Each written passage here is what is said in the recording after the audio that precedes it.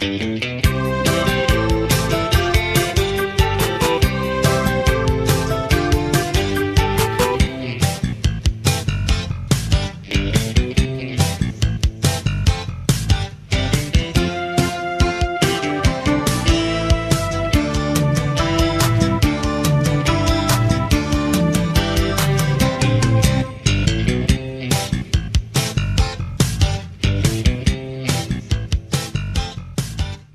this space, one of the things which we want to talk about um, is been to look at, for example, um, in the Kenyan context, we have just had devolution.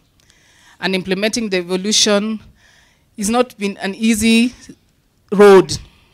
But there have been countries where they've already started the process where we are seeing women already actualizing the space and actually utilizing that space to become better and then making that space become a space where it is women friendly, women centric, and also where youth are able to participate. So, how do we learn from these other countries to make sure that the quota which we have entrenched in our constitution is actually made to be policy and not just a, a written statement in that our constitution? do we think that right from the village unit where there are women also working at the village unit where devolution in Kenya is supposed to be working, how have they ensured that they can make demands to the highest level of parliament and ensure that those demands are met? It didn't come on a silver plate. Women had to be there to make their, their voice noted and the youth. So when we were mobilizing ourselves, the women and the youth came together and we demanded we ought to be there. And of course, under the Constituent Assembly, the five youth were nominated and the women representatives were nominated to participate in the Constituent Assembly. And that was a breakthrough. We broke the ice, and when the women got there, during the const constitutional amendments and constitution making, they made sure that in this constitution, which we were going to adopt and which would live the test of time, that the women at no time should ever, never be left out. They should be there so that they can echo certain salient issues which concern them.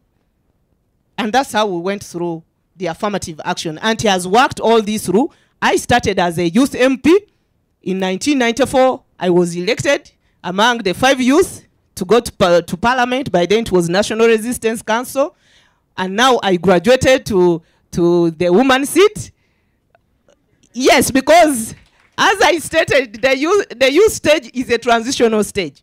After certain years, you have to graduate definitely. You will not remain a youth. But of course, because of that mobilization with the youth and the women, these are specifically interest groups and people with disabilities. Then I told them, but I can graduate now, I'm a woman, let me join this other group. And then as you are there, the youth, we are also there, and then we see how we can push forward our agenda. And that's how we managed to make it. The stories that keep going around that uh, women's presence in parliament and in government in Rwanda is high because many men died in the genocide, um, or even that uh, our leadership uh, has, has adopted these positive policies because they they have learned from the suffering of genocide. I think those are excuses uh, that detractors will always find, and it is not true. How did we get? Let me start by saying again that the 64% representation in parliament in Rwanda, women's representation in parliament, we are celebrating it, but we are cele- not celebrating it as a Rwandan achievement only. I think this is a celebration for the women of Africa. In 2003, we had to change the constitution, and there was a lot of work done. Women really, they realized, having suffered through the genocide, they realized the effects of bad governance and they decided that this was not going to happen again. You should have seen the women, how they mobilized, how they went to the grassroots, they went everywhere to train other women and men on to ensure that we get a just constitution. And in this justice, in this inclusive constitution, there was affirmative action that says there must be at least minimum 30% women representations in all levels of government. As a youth, because for you, you got into parliament and a, a female youth in South Sudan at the age of 24. And what is it that you've done to make that quota of the youth? I would love to start uh, with the, the representation of the women in the country before I should come to the youth representation. Uh, in 2005, after the CPA was signed, uh, our good leader, Dr. John Garang, he decided that the women should be giving a representation of 25% at the all level of the government. By then we were together, we were one nation with Sudan in 2005. And that action was putting into constitution so that it become a law. At all level of the government, representation of women, it's 25%. No matter whatever position is there, women should be there. Uh, to my own case, being a young woman in parliament and a youth at the same time, you know, this thing is start from your own political party. Because I do believe without having a party, you will not come to the power of a political position. You must come, you must come from your certain political party.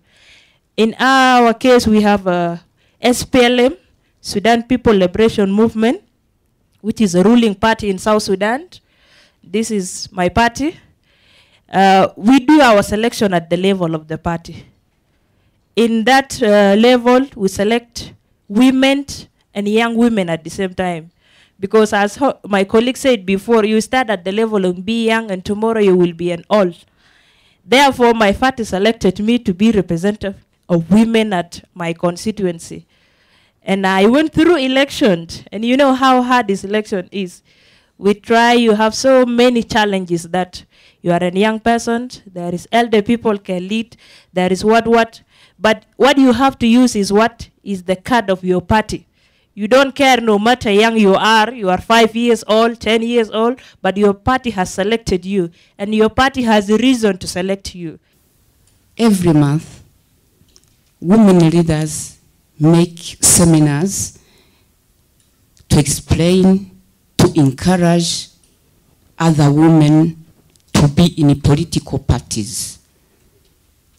And those seminars, in those seminars, men are invited to hear what is said there. And now we can say that we have reached a, a level, now we are using men to explain the gender issue. Other thing that uh, I can say, the selected women are not selected for joking. They are there for working, for serving public, especially women. You can ask how. The president cannot put a woman in any place without consulting a women's league if it is a place of women, he go, he asked, please give me a woman. And the president of Women's League give, select a woman which is fit to go there. And once he's selected, she knows that she must work. She's not going there for joking because she knows that behind her many eyes are looking what she's doing.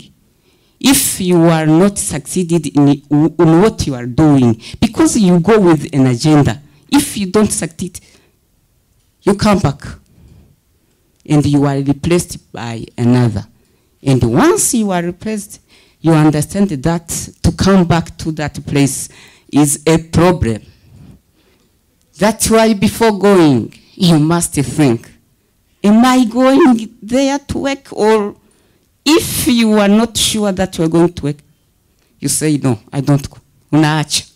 Could you please tell us, Sadia, that, for example, how in Somalia and Somaliland have you managed to dismantle the issue of patriarchy to ensure that for your case, the women's agenda is able to sit? Because one of the challenges we've had, which we see also in Kenya, is the issue of clanism. So that when you're able to participate in politics, it's your clan which is supposed to put you there. And if you don't have the biggest clan, sorry, you're not there. So how is it that you're able to deconstruct this to be able to participate in the political space? But I, I agree with you, Kota, is that space. We need to have that space. We need to change the attitudes. We are the role models. We should be that role models that actually the young woman go, follows up.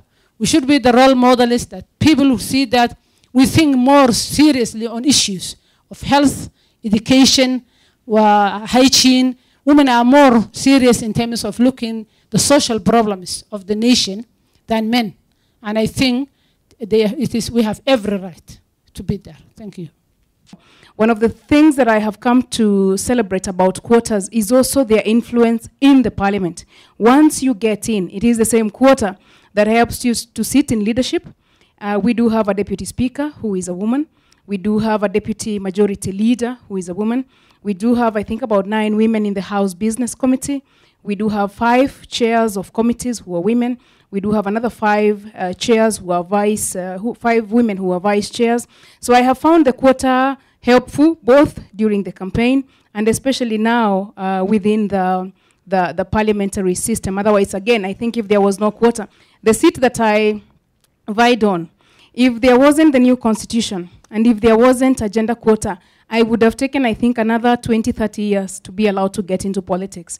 Uh, it is a man's world, it is a male field, and even when I contested, it's just that I wasn't threatening anybody at all. I was not trying to grab a seat from a man, so then they didn't have to stop me.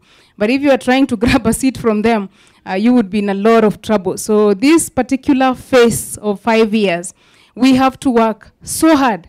We in the women representative seats are completely aware that if we fail, we fail women leadership in this country. So we are completely aware that we are the test, we are the barometer, we are the indicator. So we will do our best to show that women can lead so that in 2017 they can allow us to vie for governor or not allow us, we will fight for the governorship, we will fight for Senate, and we will fight for more members. Thank you.